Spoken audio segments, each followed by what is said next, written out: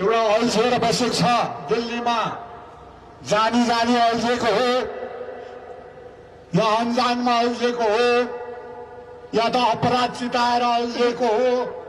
दार्जिलिङलाई दार्जिलिङ पहाडलाई महाकाल बाबा भएको ठाउँलाई सिन्चेलको सिंहदेवी भएको ठाउँलाई बर्मेकको महादेव थान भएको अम्बटीको महादेव थान भएको ठाउँलाई। एउटा छल कपट गर्नु। अपराध चिताउनु अन्त छैटौँ भने नयाँ गोर्खा हिल काउन्सिलको बिललाई अल्झाउनु यही त यही बुझिँदैछ र आज आकाशमा के भयो? तपाईँले देख्नुभयो सूर्यको वरिपरि। झुटा भएको भए सूर्य ग्रहण लाग्ने थियो। सत्य थियो अर्कै चिज लाग्यो र आज बोलेको यो आकाशमा हेर्नुहोस् आज बोलेको जति पनि शब्दहरू छ आवाजहरू जति बोलिन्छ जे जे दिन्छ मैले खदाहरू दिएँ तपाईँहरूलाई। महाप्रसाद भएर जान्छ के हुन्छ? महाप्रसाद। जति पनि आवाज यहाँ उठ उठ्छ तपाईँहरूले पाउनुहुन्छ सुन्नुहुन्छ के हुन्छ? महाप्रसाद। दार्जिलिङ पहाडले आज किन आफ्नो भाग्यलाई यसरी के गर्दैछ लात्ताले हिर्काउँदैछ आफ्नो भाग्यलाई तिम्रो भाग्य त के छ भत्कायो भत्कायो दार्जिलिङ पहाडको भाग्य किन भत्काउन चाहँदैछ दार्जिलिङ पहाडको भाग्य भत्काउने कसैको अधिकार छैन तिमीलाई कसले अधिकार दियो यो पहाडलाई पहाड भत्काउने पहाडको भाग्य भत्काउने उन्नाइस सय छ्यालिस सालमा बिग्रेको थियो दार्जिलिङ पहाडको भाग्य राजनीति नजानेर हो या नबुझेर के भएर बिग्रेको थियो। त्यसलाई सपारेर ल्याएको हो हरिजन्डाले मलाई सबै थाहा छ इतिहास। यो सपार्दै सपार्दै ल्याएर उन्नाइस सय अठिस अस्सी अठासी सालमा मात्र यो एउटा सफरिएको हो। हामी लता लथालिङ्ग भएका थियौँ। भताभुङ्ग भएको हो नानाभाती भएको हो राजनीतिको ज्ञान नभएर पनि हो हामीले यो दार्जिलिङ पहाडलाई केवल ठिक बाटोमा दिशा दिनु नसकेको नेताहरूले। नेताहरूमा क्वालिटी थिएन गुण थिएन भाषण छाड्थ्यो तर उसको हृदयमा सत्य भने थिएन आत्मसत्य थिएन। जबसम्म आत्मसत्य हुँदैन जति नै नेतागिरी गर्दा पनि त्यो राम्रो हुँदैन। सत्य हुनुपर्छ। सत्य भयो।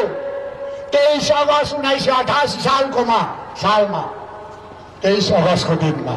अब के यो बताउँछु जनतालाई थाहा छैन दार्जिलिङ पहाडलाई पनि थाहा छैन। कुनै पनि देशमा या त कुनै पनि मुलुकमा या त अर्काको मुलुकमा बसोबासो गर्दा रैथाने भएर सर्वप्रथम हामीलाई के चाहिन्छ? नागरिकता। सर्वप्रथम के चाहिन्छ? नागरिकता सिटिजनसिप। दुई नम्बरमा के चाहिन्छ? भयो भने दियो भने। त्यो दियो भने मात्र। चिनारी। अब तिन नम्बरमा हाम्रो रीतिरिवाज र संस्कृतिको क्या हो? प्रोटेक्सन सुरक्षा। दियो भने। दिएन भने पनि कोही बात छैन। बुझेन बिस्तारै माग्दा पनि हुन्छ। तर नम्बर वानमा पाउनु पर्ने चाहिँ हाम्रो के हो? नागरिकता हो। र तेइस अगस्त उन्नाइस सय अठासी साल एउटा ऐतिहासिक दिन हो। त्यो दिन सारा हिन्दुस्तानमा भएका गोर्खाहरू के भए सुरक्षित भए। म खुसी भए। हरियो झन्डामा कतिवटा तारा छ? तिनवटा तारा। तिनवटा चाहिँ किन लागेको हो त। चारवटा हुनुपर्ने छ सातवटा बाह्रवटा। तिनवटा चाहिँ किन लाग्यो उत्तानी खुकुरी पनि छ त्यहाँ। लक्ष्य। हामीले फत्ते गर्नुपर्ने। हरियो झन्डाले मैले एउटा नेतागिरी गर्दा मैले फत्ते गर्नुपर्ने कुरा कुन चाहिँ हो? तिनवटा तारा। तिनवटा तारा भनेको आसमानमा हुन्छ तारा। त्यो लक्ष्य हो हाम्रो। जरुरी हो। अति आवश्यक कुरा हो। कुनै पनि जातिको लागि आफ्नो अस्तित्व बचाउनुको लागि तिनवटा कुरा अति नै आवश्यक हो। यसले गर्दा तिनवटा केवटा तारा छ। नम्बर वान तारा कुन चाहिँ हो? नागरिकता। दुई नम्बरमा के हो? चिनारी। त्यो पनि खुस्कायौँ त। खै तपाईँहरूले एक थप्पड पनि पाउनु भएन। दुई पैसा चन्दा पनि उठाएन त।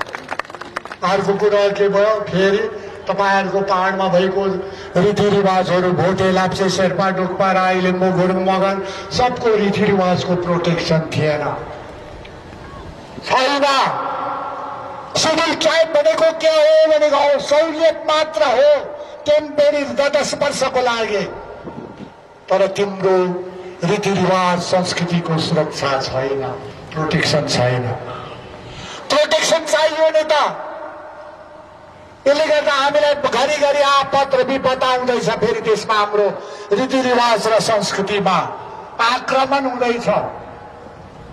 त्यसलाई बचाउनुको लागि के हो? नयाँ Gorkha health council under six schedule यसले गर्दा त्यो नराम्रो चिज होइन बाइस अगस्त उन्नाइस सय अठासीमा गोर्खाको चिनारी पायो। गोर्खा हिलले के बोक्छ? चिनारी बोक्छ। म लठुवा होइन हो कालिदास पनि होइन गोर्खा हिलले चिनारी बोक्छ नागा हिल खासी हिल जयन्ती हिलले उनीहरूको चिनारी बोक्छ चिनारी आइडेन्टिटी त्यसो गोर्खा हिलले चिनारी बोक्छ कारण गोर्खाल्यान्ड भन्ने ब्रह्मास्त्र हो त्यसको उद्देश्य हो लक्ष्य हो भारतमा भएका गोर्खालाई बचाउनु हो बचाए त अब त्यहाँदेखि दार्जिलिङ पहाडको लागि के हो चिनारी चाहियो चिनारी चिनारी त गोर्खा हिल गोर्खा हिलमा माटो छ कि छैन माटो छ त ढुङ्गा पनि छ बालुवा पनि छ गिटी पनि छ भालु बाँदर चितुवाहरू पनि छ लोथर्के पनि छ अब के चाहियो त अब आइडेन्टिटी बोक्दैन बाँदरले सोध्यो भने गजब बोक्छ भन्छ जङ्गल बाँदर सोध्नुहोस् त आइडेन्टिटी चितुवाले सोध्नुहोस् त।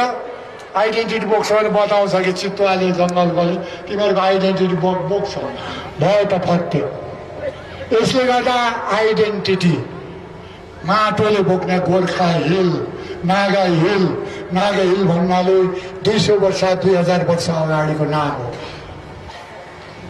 नागाल्यान्ड भन्ने त के हो? एउटा दर्जा मात्र हो। एउटा त्यो स्टाटस हो सरकारी एउटा शासन प्रणालीको दर्जा मात्र हो। पाउने कुरो त हामीले पाइसक्यौँ दर्जा। अब यसलाई दर्जा बढाउँदै लाउँदै जाउँ। मेरो दर्जा। शासन प्रणालीको दर्जा। स्टेटको पावर। नानाभातीको हो यस्तो। यसले गर्दा मेरो भन्नुको तात्पर्य हरियो झन्डाले आफ्नो भूमिका निभाउँदै निभाउँदै आयो।